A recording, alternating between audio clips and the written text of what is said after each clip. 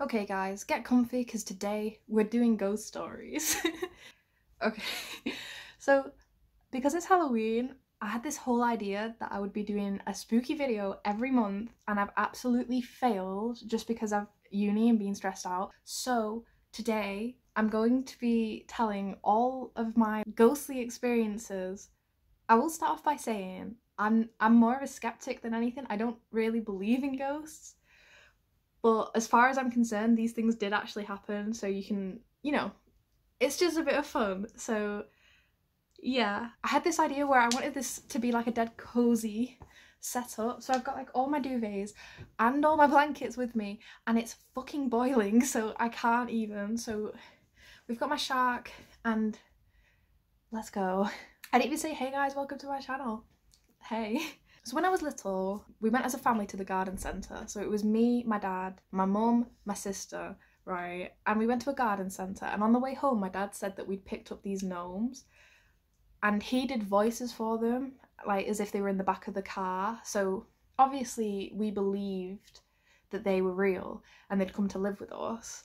It happened like for a few weeks, my dad would just like talk to us in those voices and then he just stopped. It was just like an old thing in the past. But I never stopped talking to them. I, well, not never, I don't talk to them anymore, but even though my dad was downstairs and everybody else was downstairs, I would still talk to them and hear replies. I believed, right, that they lived on top of my wardrobe and I used to talk to them. It was a, a, a guy and a girl and eventually the girl went missing and I had no idea why. So I asked my dad and he said that she'd like packed her bags and left you know like as if it was something. But I I was this was real to me. Like I genuinely believed that these gnomes live with us and talk to me and they were my friends. It was really strange. And I think it's more of like an imaginary friend sort of situation in this. But to me it's like real. Like I remember talking to them so yeah, they could have been ghosts, they could have been gnomes, they could have been my imagination, but it is a bit weird and yeah, I still remember it and I think it's funny, really. Next one is more of a ghost story. So this is also when I was younger. We were at my grandma's house and everybody had gone upstairs to, I don't know, I think they were bathing my brother or something and everybody, they, you know, they were all upstairs and I stayed downstairs to clean up, right? I was, we had these stupid jigsaw puzzle pieces. They like foam and big, and I was just getting them all in a pile, making them nice. I looked down, and there are two feet stood in front of me. So obviously I think nothing of it straight away. I'm like, oh, it must be somebody come out of the dining room, which was facing me, which is creepy anyway because it's just glass. Like you know, it had like it has like patterns on it. I can't remember what you call it, but it just looks creepy anyway. But she was we're getting ahead of it. So yeah, these feet were in front of me.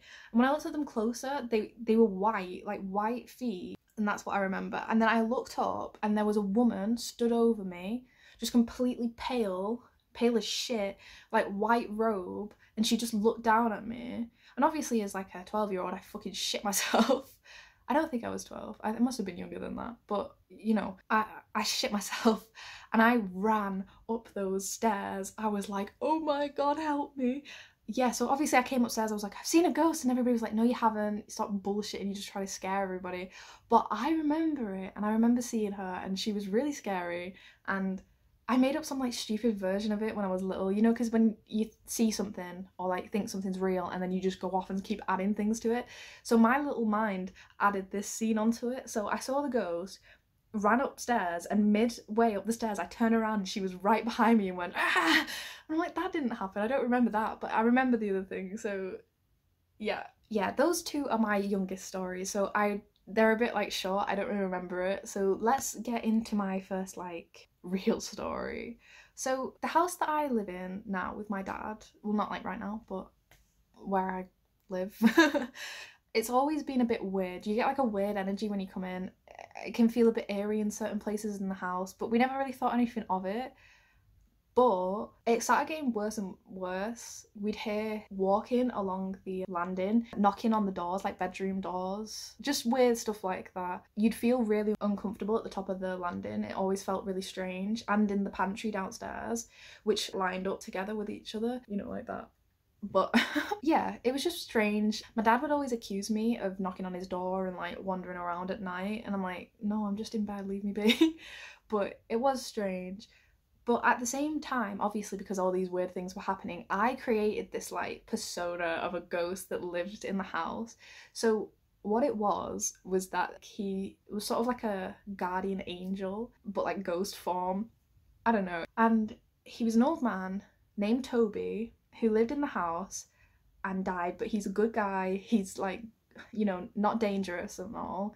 Yeah, this was a running joke for ages. I had this necklace. I think I still have it somewhere, but I, I don't know where it is.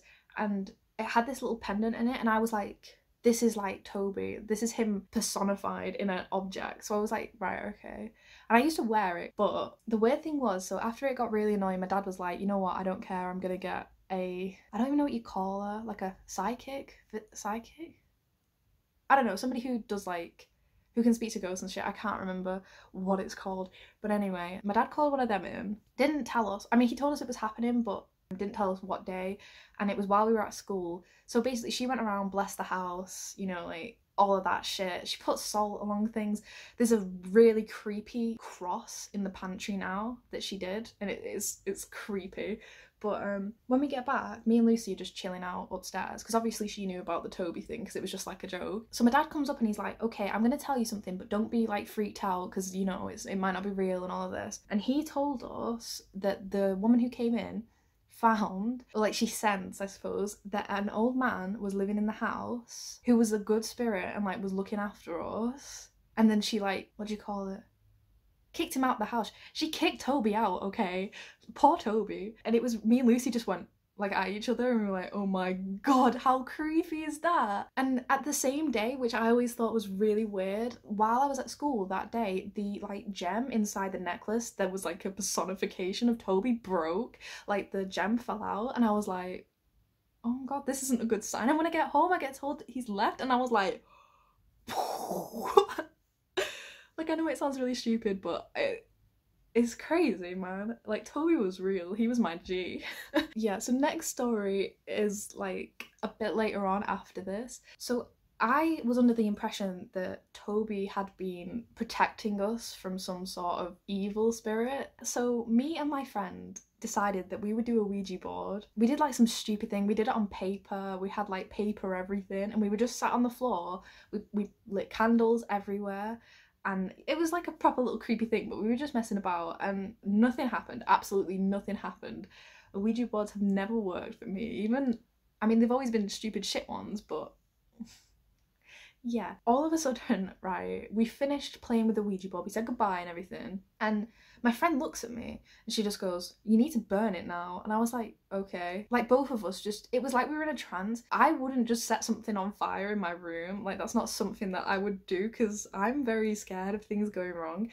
And although i'm a little bit reckless i'm not that reckless. So yeah, she just like looks me dead in the eyes, like burn it, and I'm like okay.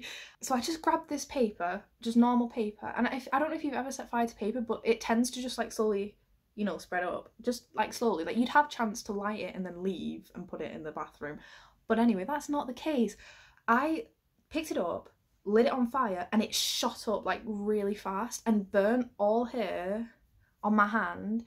It was so painful. Like literally it ruined the whole sleepover because I was crying all night, just like I'm hurting real bad. But it was very strange and the way it just set on fire so quickly, it was really weird.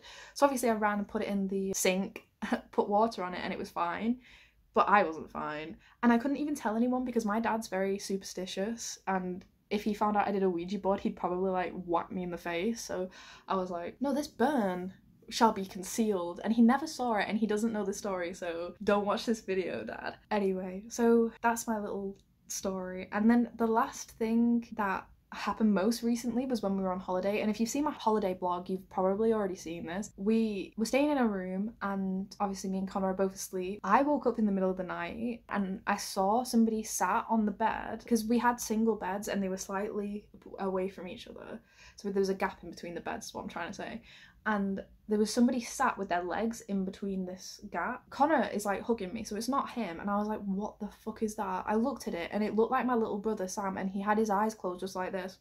and I like shit myself and I was just staring at it because I didn't know what to do. Like, I was staring at it for a good 10 seconds and then all of a sudden it just disappeared and I was like, what the fuck? And I was shitting myself because I was hyperventilating and I was like, oh my god, oh my god. And Connor was just like, go to sleep, please. And then after that, I kept seeing things. I saw shadows standing in the bathroom doorway and then also in front of the wardrobe and I was just having a shit time. I was like, oh my god, I'm gonna die.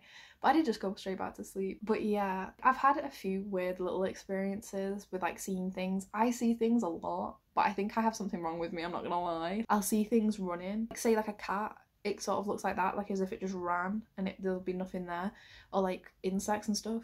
But yeah, anyway, so I hope you enjoyed these stories. I feel like I've gone through them very fast, so I don't even know if this is gonna be good. But um in regards to ghosts, I'm really not sure what I believe in. So, you know, you can let me know down below if you believe in ghosts or if you don't. There's no need to be aggressive though. I'm sorry. but yeah, I hope you enjoyed this video and I'll see you next week for another spooky video. so yeah, bye.